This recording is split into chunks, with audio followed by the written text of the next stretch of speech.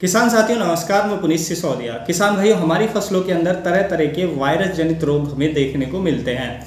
जैसे कि tobacco mosaic virus, बहुत सारी फ़सलों पर इसका अटैक होता है, जिसकी पिक्चर आप स्क्रीन पर देख सकते हैं। तो ये हमारी फ़सलों पर अटैक करता है, जिससे हमारी फ़सल बेकार हो जाती है, तबाह हो जाती है, उसी तरीके से लीफ कर्ल वायरस जिसको हम पत्ती मरोड़ कहते हैं, जिसमें पत्तियाँ मुड़ने लगती हैं, जैसे कि मिर्च के अंदर काफ़ी ज़्यादा अटैक करता है, टमाटर के अंदर, खीरे के अंदर, खरबूज के अंदर, तरबूज के अंदर, और भी बहुत सारी फ़सलों के अंदर जो लीफ कर्ल वायरस है, उसका अटैक देखने को मिलता है। शुगर कैन मोजिक वायरस, ये गन्ने के अंदर हमें देखने को मिलता है, और भी बहुत सारी फ़सलों पर तरह तरह के जो वायरस जनित रोग है, वो हमें देखने को मिलते हैं। और देखिए वायरस जब हमारी फ़सलों पर आ जाता है तो हमारी जो फ़सल है, पूरी बर्बाद हो जाती है, क्योंकि वायरस को ठीक करने के लिए कोई भी वीरीसाइड अभी तक उपलब्ध नहीं है। फंगस जनित रोग आता है तो हम फंजीसाइड हमारे पास अवेलेबल है, हम उसको ठीक कर सकते हैं। बैक्टीरिया जनित रोग आता है तो बैक्टीरिया साइड हमारे पास अवेलेबल है, हम उसको भी ठीक कर सकते हैं। लेकिन जो हमारा वायरस के कारण जो रोग आता है तो उसको कंट्रोल करने के लिए कोई भी वीरीसाइड अभी तक उपलब्ध नहीं है। हाँ उसको आने से पहले हम रोक सकते हैं। हम प्रिवेंटिव उसका ले सकते हैं। एज ए प्रिवेंशन हम उसको कंट्रोल कर सकते हैं, लेकिन आने के बाद हम उसको ठीक नहीं कर सकते हैं। तो आज की इस वीडियो में हम यही जानेंगे कि जो वायरस जनित रोग है, हमारी फ़सलों पर कौन कौन से कारणों से आते हैं और उनको कैसे आप रोक सकते हैं। आपकी फ़सलों में कोई भी वायरस जनित रोग आता है तो आप उसको इजीली कंट्रोल कर सकते हैं। यदि ये वीडियो देखते हैं, कोई भी वायरस जनित रोग किसी भी फ़सल में हो तो आप उसको नहीं आने देंगे। यदि आप इन जो मैं सावधानी बता रहा हूँ, उनको आप ध्यान में रखेंगे। तो वायरस जनित रोग फैलता कैसे है, कहाँ से आता है, कैसे स्प्रेड करता है और कैसे हम इसको रोक सकते हैं? तो वीडियो काफ़ी इन्फॉर्मेटिव होगा। वीडियो अच्छा लगे लाइक कीजिएगा और ज़्यादा से ज़्यादा फार्मर के साथ इसे शेयर कीजिएगा ताकि उन तक भी ये जानकारी पहुँच सके। चैनल पे आप नए हैं तो चैनल को सब्सक्राइब ज़रूर कीजिएगा। तो चलिए जानते हैं। देखिए जो वायरस रोग आता है हमारी फ़सलों के अंदर, वो आने के जो कारण होते हैं, वो एक तो सीड से आता है, जो इन्फेक्टेड सीड है, यानी कि संक्रमित बीज के कारण जो वायरस जनित रोग है, वो हमारी फ़सलों में आ सकता है। तो जो बीज आप लगा रहे हो, अच्छी कंपनी का लगाएँ सर्टिफाइड सीड लगाएँ तो ये ज़रूर ध्यान रखें, वरना वायरस जो है वो सीड के ज़रिए, बीज के ज़रिए ज़रिए भी आपकी फ़सल में आ सकता है। दूसरा जो हमारे सकिंग पेस्ट हैं, यानी कि जो इंसेक्ट हैं, कीट हैं, रस चूसने वाले कीट हैं, उनके ज़रिए भी जो वायरस है वो आपकी फ़सल तक पहुँच सकता है। मान लीजिए आपकी पड़ोसी की फ़सल में वायरस है तो वहाँ से जो कीट आ रहा है, स्पेशली वाइट फ्लाई है या कोई भी सकिंग पेस्ट है, वो हमारी फ़सलों में वायरस को फैलाने का वायरस को इंजेक्ट करने का काम करते हैं। यदि सकिंग पेस्ट का अटैक आपकी किसी भी फ़सल के अंदर लंबे समय तक बना रहता है तो उस पर जो वायरस जनित रोग है, वो आना निश्चित होता है। इसलिए जो सकिंग पेस्ट है, उनको इमीडिएट कंट्रोल करें। तो सकिंग पेस्ट भी जैसे thrips aphids white fly mites hoppers ये आपकी फ़सलों तक जो वायरस है, उसको ला सकते हैं, फ़सलों में वायरस इंजेक्ट कर सकते हैं। उसके साथ साथ जो वायरस है, वो हवा के ज़रिए भी फैलता है। मान लीजिए आपकी फ़सल में किसी एक प्लांट में वायरस है तो वो हवा के ज़रिए जैसे प्लांट दूसरे प्लांट से टच होगा तो वायरस का स्प्रेड आपकी पूरी फ़सल में हो जाएगा। तो ये एयर के माध्यम से भी आपकी फ़सलों में फैल सकता है। दूसरा, आप प्रूनिंग करते हैं ग्राफ्टिंग करते हैं। यानी कि प्रूनिंग यानी कि अपने पौधे की कटाई, छटाई करते हैं। तो भी वायरस के स्प्रेड होने के चांसेस काफ़ी ज़्यादा बन जाते हैं। मान लीजिए आपकी किसी भी फ़सल में कोई दो तीन प्लांट में वायरस है और उसमें आपने कटिंग की, बाद में सभी पौधे में कटिंग की तो वायरस आपका पूरी की पूरी फ़सल में फैल जाएगा। तो ग्राफ्टिंग और प्रूनिंग से बचें।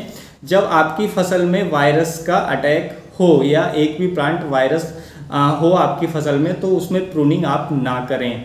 उसके साथ साथ ह्यूमेंस के ज़रिए भी ये जो वायरस है, वो फैलता है, यानी कि कोई लेबर वर्क आपका कर रहा है, तोड़ाई कर रहा है तो उससे भी जो वायरस है, वो स्प्रेड होता है। तो इन तरीकों से जो वायरस है, वो स्प्रेड हो जाता है हमारी फ़सलों के अंदर एक प्लांट से दूसरे प्लांट से में, और इसके आने के दो ही कारण है। एक तो सीड के ज़रिए आ सकता है, दूसरा कोई पड़ोसी की फ़सल इन्फेक्टेड है तो वहाँ से आपके खेत तक ये पहुँच सकता है। और स्प्रेड इसको कई माध्यम से ये जो स्प्रेड है, यानी कि इसका फैलाव आपकी पूरी फ़सल में हो सकता है।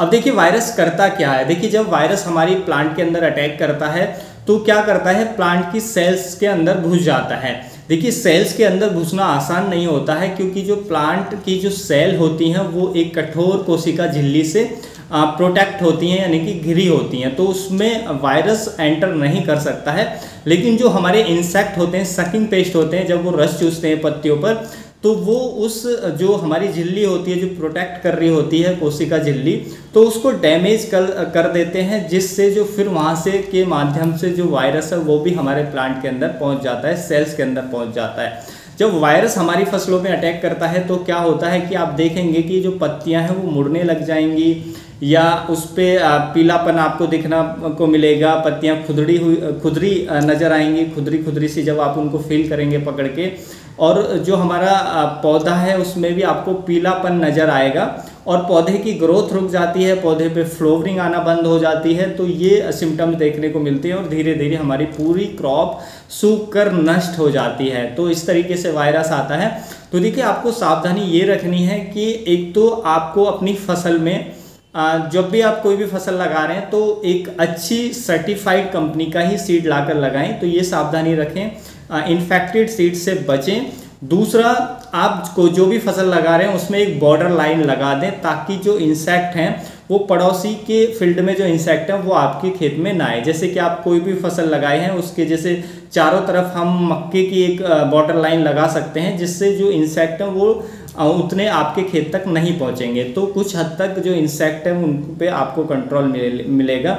दूसरे खेत से आपके खेत के अंदर वो नहीं आएँगे। तो आप ऐसा कर सकते हैं। उसके साथ साथ सकिंग पेस्ट का अटैक आपकी फ़सलों पर ना हो।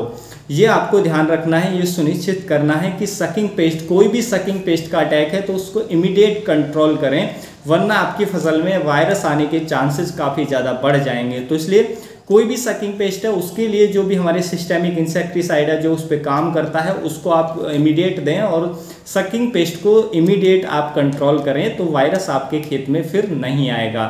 उसके साथ साथ यदि मान लीजिए आपकी फ़सल के अंदर, आपकी फ़ील्ड के अंदर कोई भी एक प्लांट दिख रहा है कि उसमें वायरस इन्फेक्टेड है, एक या दो प्लांट दिख रहा है तो उसको इमीडिएट वहाँ से उखाड़ कर और गड्ढा खोद कर दवा दें।